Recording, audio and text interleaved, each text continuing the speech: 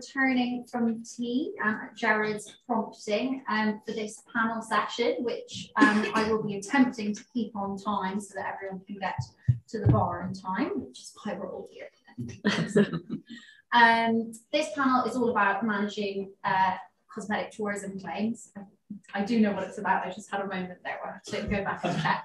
Um, I'd like to introduce our speakers. This is as much as you'll be hearing from me. Um, it's really over to these two experts. Have um, joining us um, from Belgium. She specialises in labour and social law there, including industrial accidents and other personal injury cases. And she's worked on several cases involving Dutch women who have come to Belgium um, for breast implants, so it has particular experience in this kind of area. And um, Cheryl, sort of the the needs no introduction member of the panel, but she is of course a partner at Irwin Mitchell, specialising in cross-border injury claims, and she has a particular interest in these kinds of claims. Um, after a stellar tenure as chair of the PEOPIL Young Lawyers Group, she's now sitting on the executive board, um, and I'm sure will be a familiar face to most people. So I'm going to be asking um, the panelists about some particular areas, how they manage these claims, um, particularly focusing on some practical tips and learnings from their own work and, and cases. Um, and obviously, because Shauni's here, we'll have a particular focus on what if you've got a case of surgery in Belgium and what's going to apply then. Belgium is, of course, an attractive destination for treatment abroad. It's easy to reach from the UK generally has a reputation for high standards and many fluent English speakers. The internet tells me, so who knows, but it tells me that on average, patients save around 50% uh, on their treatment in Belgium and that over 55,000 uh, people travel to Belgium specifically for medical treatment every year.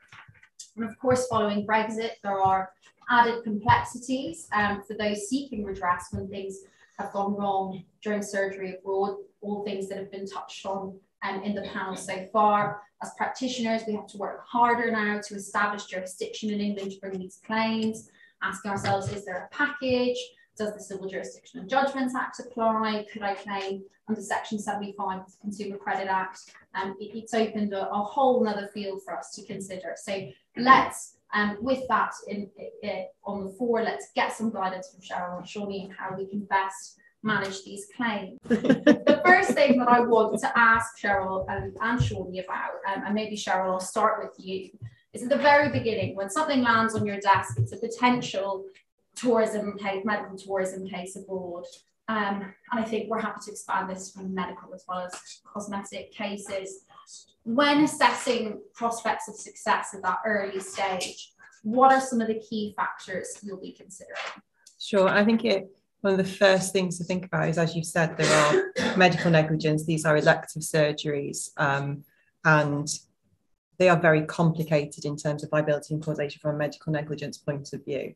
Um, what is interesting about these medical tourism cases is that we often find ourselves wrangling with all of the technical issues that we've spoken about today. Um, so if you were going to have a nap, it probably still is relevant even if you don't do these cases, um, because we actually have a high proportion of jurisdiction challenges, arguments about contractual issues on these cases. And so for that reason, when they first come to us, we have a think about first and foremost, can we bring it in this jurisdiction.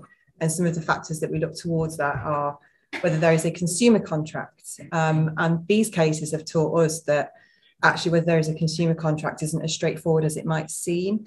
Um, we have a look at whether there is a jurisdiction clause, and again, that's that can be complicated as well. In terms of the jurisdiction clauses, um, we've got into some really um, nitty gritty conversations about contracts um, that sort of takes us, you know, right back to where we all started with our education. Um, when is the contract formed? Where is the jurisdiction clause? Because often you have conversations about what the surgery is, what it will entail, and payment. And then much further down the line, sometimes in a foreign language, you'll have a, a, jurisdiction clause, and the defendant will try and enforce that upon a claimant. And so there's an argument actually about whether it is part of the contract. If it is, is it a, is it a valid part? Did they look at it in the proper language? Did they understand what they were signing and all these sorts of things? Um, in terms of the consumer contract, we've had uh, some interesting discussions and we've had experience where I honestly thought that a person, no matter what her profession, going to Belgium for breast implants would be a consumer in that scenario, in that she's not a medical professional. She's seeking a professional to carry out that surgery. But because she was in the adult entertainment, entertainment business, the argument was that this was a commercial business to business contract. Um, and that put a stop to the consumer contract argument. That's a really staggering um, decision there. you know, just to kind of yeah to, to be undertaking those kinds of risks and mm-hmm. that kind of you know surgery and that kind of discussion about what you're going to use the surgery for is um incredibly personal in a business to business context. Yeah that can't have been um, that can't have been an easy one for client handling i'm sure and particularly that outcome. Shauni do you have any input there on sort of this this yeah we we already had a little discussion about the b2c b2b context in Belgium. In yeah, that's what I was going uh, to to end with. Thank you. Um, so in Belgium, there's recent case law in it's from the 9th of March 2018. It's from our highest courts, and they start with making a distinction between uh, the mixed contracts. So in this case, the judge um, was clear that it was mostly professional. But when there's a, a mixed contract and the professional part is less substantial than the private part, you can still put it on a consumer law in Belgium. And most of us, I mean, most of the lawyers in Belgium, we look at taxes and fiscal uh, reglementation to see if the professional part is more substantial than the private part. So in that way, with taxes and sort of stuff, we can still put it on the consumer law, which was very, very necessary during COVID mm-hmm. after all the problems with uh, cars and all of that. The prices went up. And when you were a professional, the um, garages and, and the producers could augment the prices of the cars. But if you paid taxes as mostly private on that car, you can say to the producer that you were still a consumer and the prices couldn't be higher uh, because of the, the production prices. And I think in medical advice, uh, medical devices cases, the same rules can be applied. So, but in that case, mm-hmm. it was a, a professional yeah. case, although I have my uh, questions about that. But yeah. yeah. and what about um, Cheryl? Your experience of, of um, trying to bring these cases in England when they involve Belgium what's the Belgian approach to jurisdiction? Are they are they kind of up to what do they know what we're up to? Or yeah, some some of them do, and I'm not I'm not talking about the lawyers. The lawyers obviously know what we're doing. I'm talking about the surgeons. I think one of the complicating factors in this case was that the surgeon himself had asked the Belgian court for a declaration that he was um, not liable for any injury. So we were in the Belgian courts um, because if these arguments had been had in England, I think it would have been different. Um, but we were in the Belgian court and we were up in arms. It was a case that was issued pre Brexit, um, and so um, with the Brussels regulations, we thought it was um, we thought it was you know really out of order that this surgeon was trying to bring the claim in his country because it's very clearly that the consumer has the right to bring the, the claim in her country. Um, and so that does call into question how you deal with these cases. Will a records request alert a surgeon to the fact that you're going to make a claim? Will a letter of claim alert them? Um, if you don't contact them, how do you know who their insurer is? Um, so you've got a lot of different factors at play, and you have to sort of draw an experience of specific surgeons and clinics to have an understanding as to whether they might be trying to take these steps and seize jurisdiction. I think now it would be much much simpler for them to seize jurisdiction does not have a chance mm-hmm. to argue against it. Mm-hmm. So definitely something to be to be wary of. And, and what about sort of what kind of evidence you're looking at at this assessment of prospect stage? Maybe if you could talk us through that. Sure. So um, what we would want to see ideally, and think it would be straightforward, would be to see the um, surgical notes. Um, we've had a case that recently um, went to trial and was adjourned. Trial continue later this year. And after that, that trial was part heard, we then got the clinical notes um, because it's incredibly difficult. Now, in that case, um, obviously not so crucial because we we ploughed ahead to trial um, and we're, we're feeling pretty good about it. But we would want to see the notes, but the reality is you don't often see those. And so what you need are experts who are willing to give a view based on the records that you can get. These people have often been backwards and forwards in England with practitioners and gather what information you can um, and get somebody at an early stage with an expert view. Um, these are medical negligence cases, and so trying to disentangle um, how a person was before and how they are after is no different just because it's a cosmetic surgery claim, um, and often trying to disentangle what um, they would have felt about themselves is one of the complicating factors, um, and so you have to take a very um, clinical view with the with the right clinicians. Um, so you, you, your expert is key and your records are key, and you can look at doing the procedures that we would do in any other case. Is there an opportunity to try and compel disclosure via a foreign agent in the foreign country without the risk of seizing jurisdiction? So again, the, these issues that we come face to face with all cross-border personal injury cases are relevant here. Um, but trying to get those trying to get those records um, is key. We've had cases that we couldn't get off the ground because we couldn't get records, and claimants, understandably, are very upset about it because it feels like, well, they've done this to me and they just don't get the records and they get away with it. But without that evidence, um, obviously they're unconscious during these procedures. It's very difficult. Um, but there are things um, which I think we'll come on to later in terms of indicators mm. of um, outcomes that just shouldn't happen and that your experts can guide you on. So you need these, these experts who can be objective and give you a steer right at the outset. And Shauni, can you shed any light on why Cheryl has had such a hard time getting disclosure um, in her Belgian cases? Yeah, because we don't have some kind of disclosure. As a Belgian lawyer, when you act for your clients, you will just give the evidence that is in favor of your clients. If you have evidence that is not in favor of your client, you will just withhold it as long as you can. And the other party doesn't have the opportunity, uh, like the UK, to do the disclosure and to ask those documents. So for us, especially in medical claims, it's very difficult to get the evidence we need to get the reports, to get those surgical notes, because they just say we don't have it. And if you can't prove that you that they really have those notes of you, you can start proving that there must be something, then you will never get them.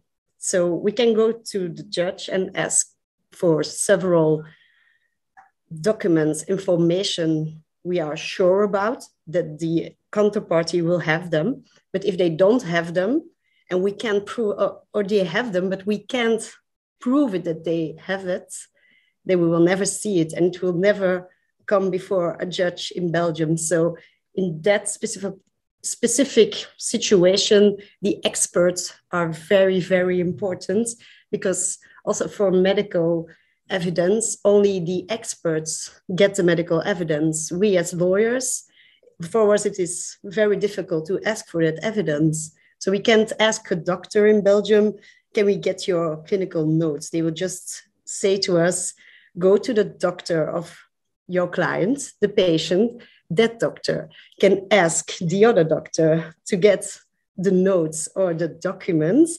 And then that doctor can send it to the patient and then the patient can decide to send it to us. So it really is a whole tour just to get a view of personal documents that the right of the patient is to see those documents but it's yeah it's really difficult to get them so I understand how, how difficult it is for uh, UK lawyers to get them. I, I, really do. And knowing all of this, and you know, this, if I'm going to say it at all, it's definitely not specifically in relation to surgeons in Belgium. You might get the records after several years in question when they were created, mm-hmm. or if you're getting a full view, if you're getting the original contemporaneous records, whether they have been um, reviewed prior to being disclosed to you. Um, it's a it's a real issue yeah, it seems so significantly different to how we do it here that you're not going to be necessarily trusting everything that, that you do get, even if you manage to get it. So that's a real a real hurdle. But kind of again, as you say, really useful background information to have when you're running one of these cases because it's was really surprising to me when you said that. How do you do your job? you know, so it's it's not something you you think of at all. Um, and what about any other factor, Cheryl, that, that you look at when when saying, "Am I going to take this on? Am I going to run with it?"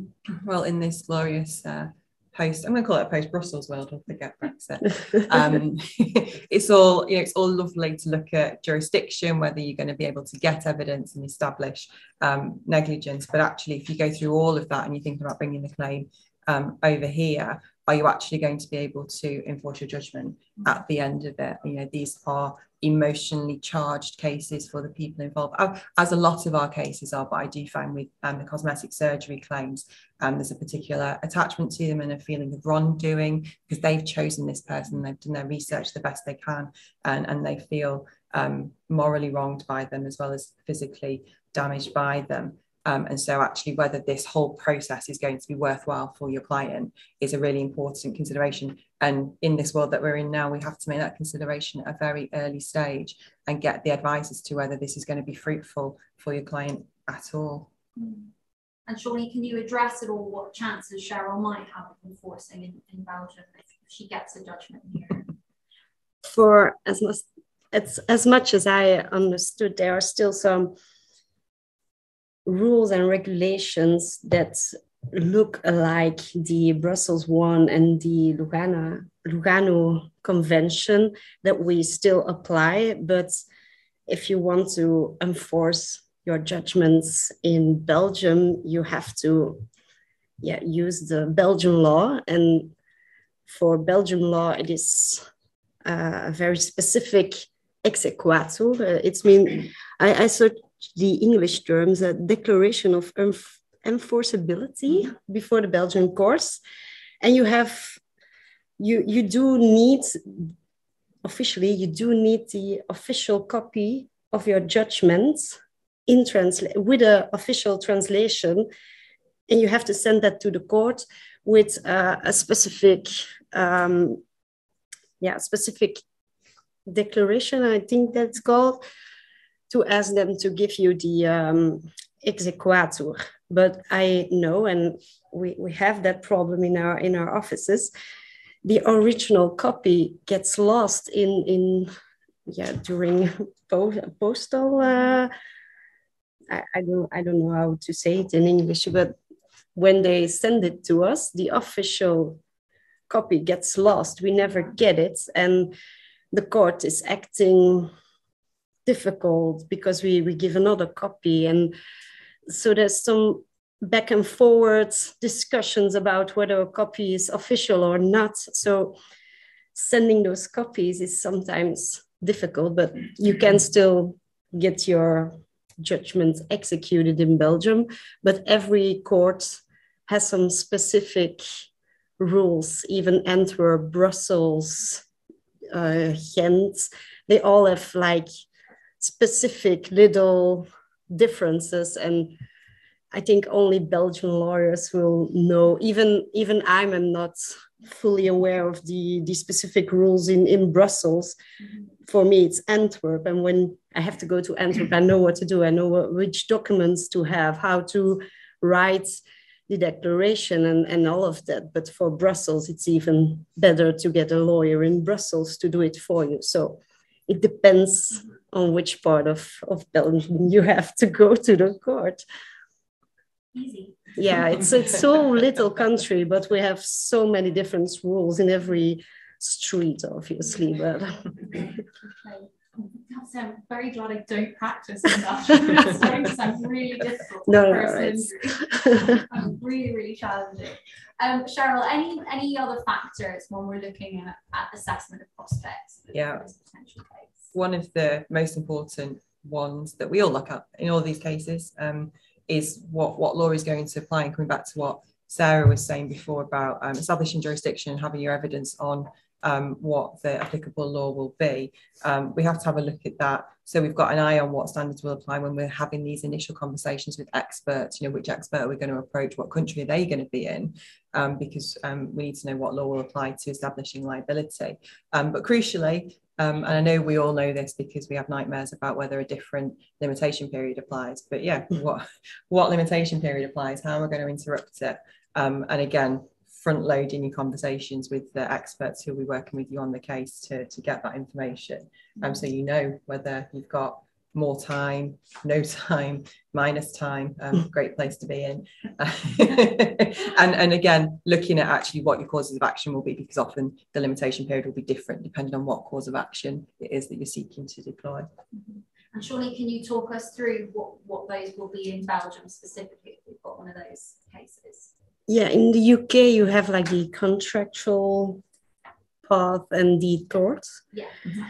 We don't. We, we do have tort, but it's it's something specific in Belgium. It's like non-contractual, and we use the term fault. Um, and tort is a specific sort of fault that can be put under it. And the contractual limitation, time of limitation is 10 years and non-contractual, it's five years from the moment uh, the injury occur occurred, but you have still some time to figure out who was the responsible person. So uh, sometimes we, we do have a case now with breast implants, of course. Mm. and um, there we don't know who the um, uh, factor the, the producer of, of the implants is. So as long as we don't know exactly, because they have companies in, in every country and we, we don't know yet which one we have to address. So our time of five years is still interrupted. So it, it doesn't end until we find the right company to sue. So um, that's a non-contractual uh, fact. But with medical uh, devices, we have like a specific Belgian law, and there's the, time of limitation is also 10 years. But if we can use that law, we will use it because uh, the evidence to prove uh, the fault, like the tort, is, is very low because there's a um, the Belgian law says that there will be a fault unless the surgeon can prove there is no fault. So the liability is very low and the low and the evidence is much more easy to get because the other party has to prove that there is no fault. So we, we like to use that law, but uh, the start date of that is when the product is or the device is manufactured. So a lot of times the 10 years is already passed when the claim arises and, and the uh, yeah the injury arises so a lot of times we can't use that law but it's very good for the patient so if you have a belgian claim always look first if you can use that law afterwards you get in the more difficult evidence uh, problems. But if you can use that that law, then you're good in Belgium. I imagine that's tricky with some of your breast implant cases because it's usually that 10 year mark or so where problems yes. can start to be clear, you know. So that's yeah, a bit of a shame. Mm-hmm. Um, but that's yeah, again, just emphasizes that you you shouldn't be googling it. You, you need to go and ask Shauni um, exactly what's going to apply and if indeed you might want to look at some alternative courses of action if they're going to be much more beneficial to you under the law. And something Cheryl mentioned um, a, a, bit earlier there was about interrupting time. So if you realise it's Belgian law, you've realised, oh, I'm in time, but I'm running close to it. Is, is there what's the best thing to do um, for, for interrupting time. I know Cheryl, you're a bit haunted by the issue serve. that keeps me awake at night. Yeah. Always serve. so, but yeah, surely what it, it seems like in every European country, it's a slightly different way of, of doing that. Yeah, um, I think this serves the subpoena parts just to for the. So no, so the issue is like the claim form. Yeah. And the service is, is actually sending it to the defendant. So. Ah, okay okay, weird. Yeah. no, yeah. I, am just going to talk about the subpoena. I think that's a correct term in the UK. Correct me if I'm wrong. It's that so, claim form equivalent? Is that what you just I, I, it's- That's it's like just a the, s- a the starting. Or they send to the Um, court yeah, I've got a claim. Got a claim, can we- we, you don't send it to the court. You send it to the um, bailiff, the Yeah. true, true. But So this is why it's so interesting because there is no equivalent. Yeah, so you- Yeah, you sort of you, not you, even no. matching on. we need we need a bailiff to send it to the counterparty, and he will also send it to the court. But we don't send it directly to the court. You have some cases where you can in employment law, but most of the cases start with a bailiff that goes to the So you'll need a counterparty. Belgian lawyer and a Belgian bailiff before you can. Yes, yes. Uh, you also have a specific letter that you can send, but Belgian lawyers don't like to use it because even if you send such a letter, there's al- always discussion about was it clear enough? Is the um, is it lawful? Because we have like a very specific clause that everyone uses, but still when we use it, and they can't use it against you to, to say the, the time limit is, is passed, they would do it. So the first discussion you will have before court is if, if our clause was good enough to uh, yeah start, interrupt the, the limitation periods. So it's difficult and it's a risk. So we would like to, to ask the bailiff to, to do the subpoena, but it depends because sometimes you don't have all the evidence and you're not sure and it is very uh, it's it's very expensive procedure in belgium. So it depends but we don't like the letter but if it's necessary it's necessary and we'll use it I think that maps onto what Sarah was saying earlier that she, you know, even even if the other side agree at the time and say, yeah, yeah, we'll pause it, you know, it's always there's always the potential for that to go awry. So I suppose what I'm taking from you both is that if you can be certain, it's better to be certain. I think particularly as you say, Cheryl, with these kinds of clients who, you know, losing out that case on a Mhm. procedural point is not going to go down well. Absolutely not. And, and you will feel the full brunt of their wrath. Yeah. Yeah. Great. Um, okay, well, those are all of the kind of some of the factors Cheryl obviously thinks about when assessing prospects. But Shauni, if Cheryl ends up having to advise her client, you know, I'm sorry, but actually you can only bring that claim in Belgium.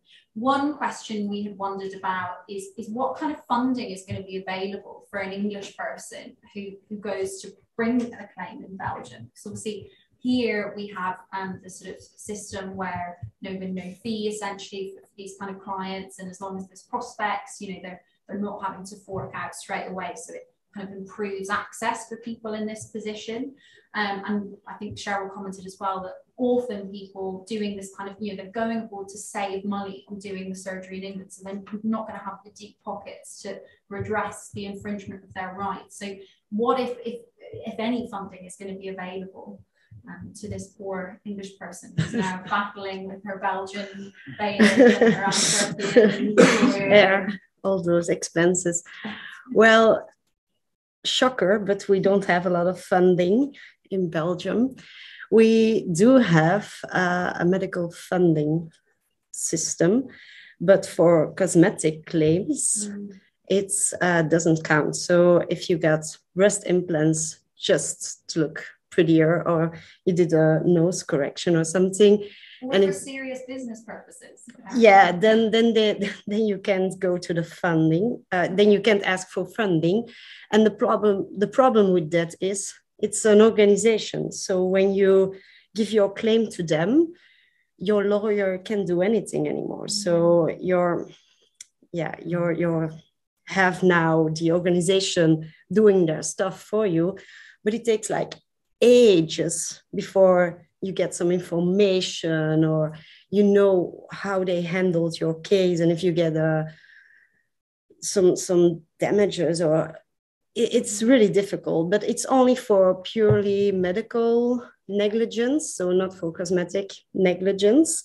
And otherwise we do have a pro bono system for um, yeah the the really poor UK, the Britons uh, that come to Belgium, they can ask for pro bono assistance, but also there, there's a difference between the various cities in Belgium, how you can ask for those pro bono assistance because you have to fill in uh, a document that is only drafted in Dutch, French, or German. So we don't have an English version of it.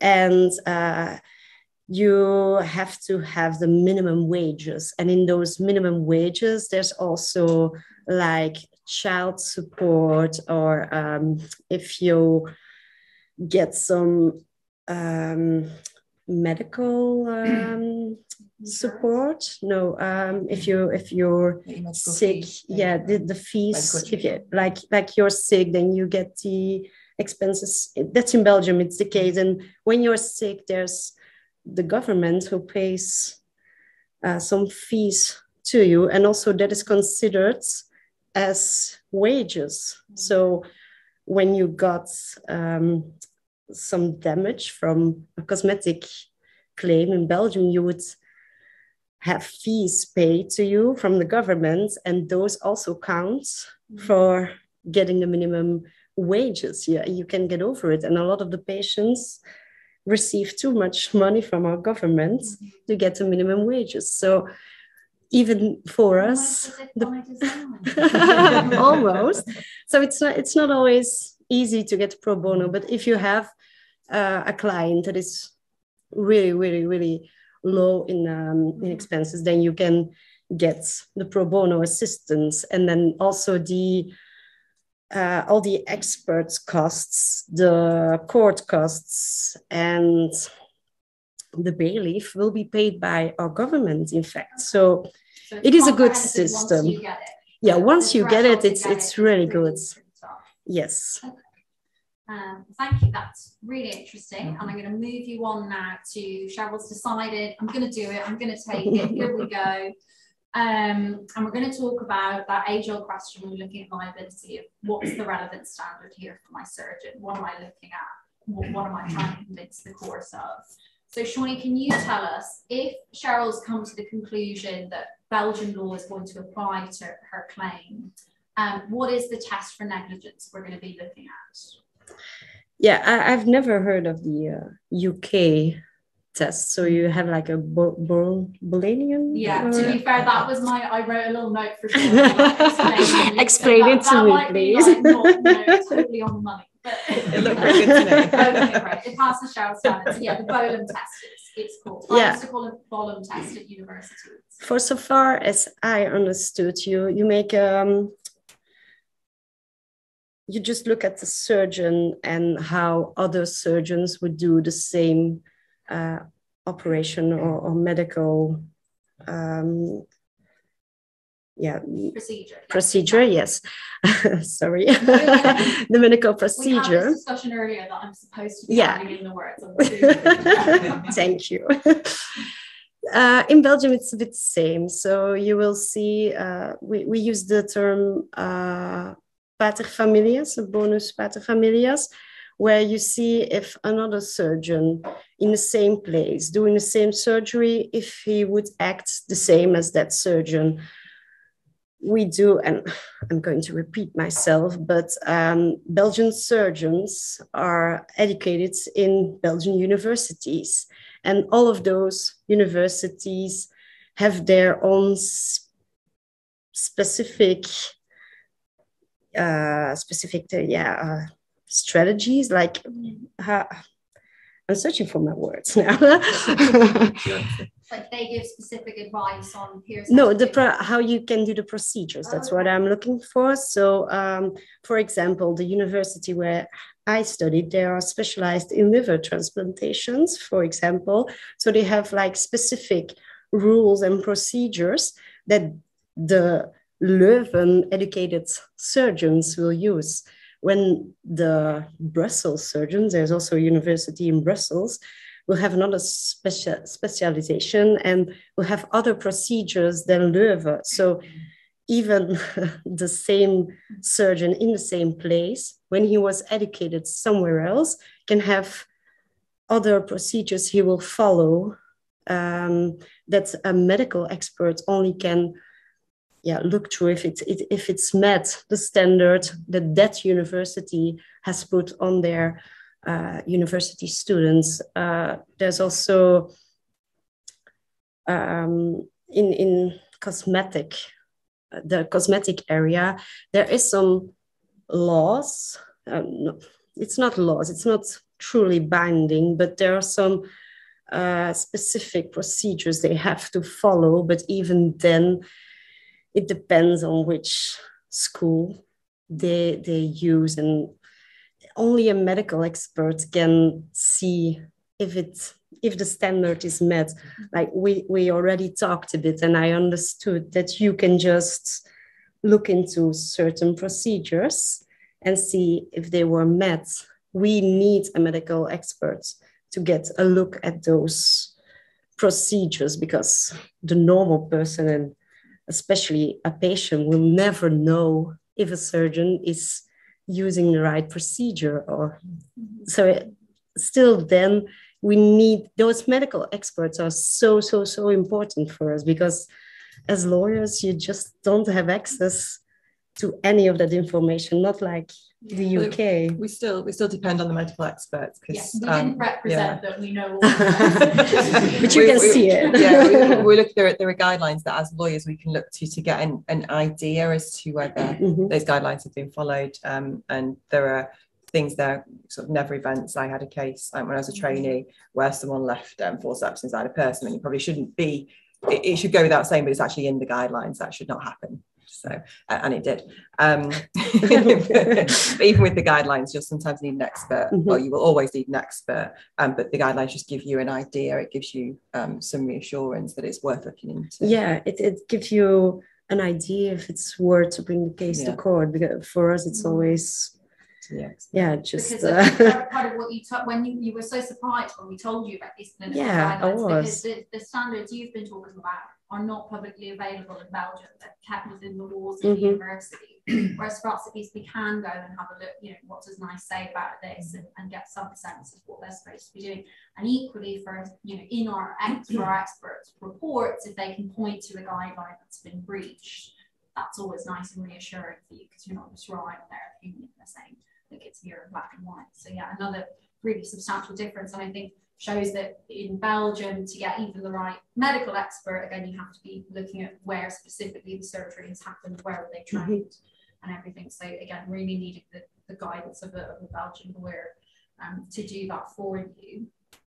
Um, Cheryl, if English law in mm-hmm. fact applies to, to our claim, what's the standard against which our surgeon is likely to be judged? What, what are we looking at here? It's a great question because it brings us back to one of the factors that we skipped over at the beginning is um, some of these cases um, are brought pursuant to package travel regulations. And so you'll have that um, framework of English law with local standards applying and looking at um, evidence from a medical practitioner in country where it happened. If you've got, because um, there are cases where you'll establish that it is an English contract. There's still a, there's still a question about local standards in terms of how who are the peers against whom the surgeon mm. should be judged, and so you're going to always need an eye on actually what the, what the practice is there. But there are some practitioners, could use different words, um, who promote themselves as being um, GMC registered, offering the same qualities you expect in England. It's just as if you're in England, it just happens to be in a sunny country that begins with T. Um,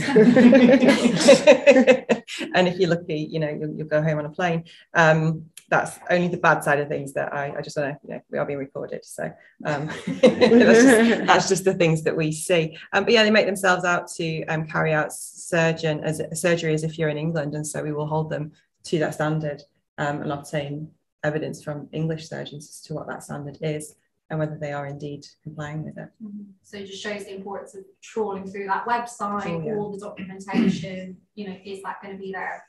Um, yeah, really, really important.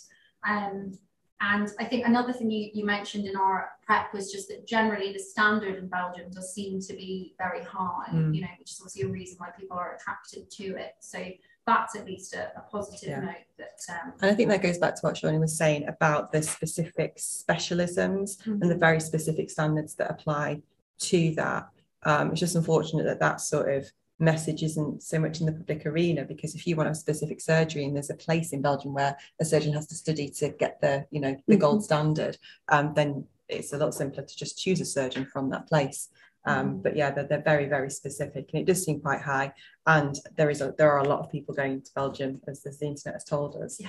Um, and not all of them are, are coming to us. So yeah. they're obviously getting good treatment as well. Mm-hmm. And um, okay, so moving on, I guess to the to the final bit, we've we've gotten liability, we've got a case in England, it's lovely. Belgian law is going to apply to the assessment of damages. Um, Shauni, it's it's always interesting um, for English lawyers to learn what you know what the quirks of how the Belgian approach is going to work to that assessment of damages. Um, and, and so if you just give us a brief little little guide on that. yeah, for damages, we we don't have like. Uh laws that are enforceable to, to get our damages. Well, like I understood in, in England, it is much more. So the guidelines. Yeah, we have guidelines, but I thought here in England it was um, based in, in the law how you how you could do it. But um, yeah there's like a specific kind of starting point of well it's you know but okay. for this I, I wouldn't have suffered all of this but that's enforceable in, in in in in the uk so i think i understand it mm-hmm. right but in belgium we just have like an indicative uh, table. That we mm-hmm. can use and in fact it's not um, a law so it's not enforceable but we know in case law the judges will follow uh, the indicative uh, table. And um, we must have a report from an expert that gives all, already all the possible damages and percentages from um, temporarily damages to um, damages in the future and all of that we, we get it in the medical report. And with that medical report, we use the indicative table, and then we can make a report on what the damages will be with without an expert. In okay, Belgium, so you, can make um, here's what happens yeah. then the lawyers are able to interpret that and apply the table. Yes. You don't have that special kind of medical legal interim person that can no no we, we we need a uh, medical report and with that report, we can do the damages. Uh, we can we can calculate the damages, mm-hmm. but the counterparty will also make mm-hmm. the same medical report, but in their advance, because yeah, medical evidence experts are neutral, but yes. not in fact. So you have two medical rep- reports, two uh, different calculations, and then the court will yeah decide which one or even a third one that they make out of those two medical reports. I think that's yeah, the, the a report, lot of times the case. The reports I've seen is sort of look at percentage of temporary permanent disability, um, whether you are prejudiced on the labour market and a sort of percentage mm-hmm. base, and then mm-hmm. and are the arguments do they tend to be on the the sort of number of days and percentages as well as what the lawyers think should be assigned in terms of money to those percentages, or is the biggest area between the medical experts? The medical experts have a lot of um, persuasion before the court. Mm-hmm. I don't know if I use the, the right word, but the court will likely follow the medical experts more than the lawyers. So when we make our calculations, yeah, they're based on the medical expert uh, reports, but the law, the judge will first look at the two different medical reports before they will look at our calculations. So I think they prefer the medical reports first, and when they decided on the medical report that they will, that they will use, they will look at our calculations. So I don't know if that answers the question. And it sounds certainly like when you're giving your foreign law expert evidence, you're going to want to address then that this isn't binding, but every port, you know, applies it and uses it because that can mm-hmm. be sort of a gap sometimes that we fall down as well if the other side can point to something and say, oh, actually, that's not binding. Great. Well, that's you've taken us from am I going to take it to yes, I'm taking it. What's the standard and, and what am I getting? Are there any last words or top tips from you um, in terms of managing these claims before I open you up to questions? Charles, like I've given all my tips. Just speak to speak to your expert. Yeah. Uh, thank you so much for joining us.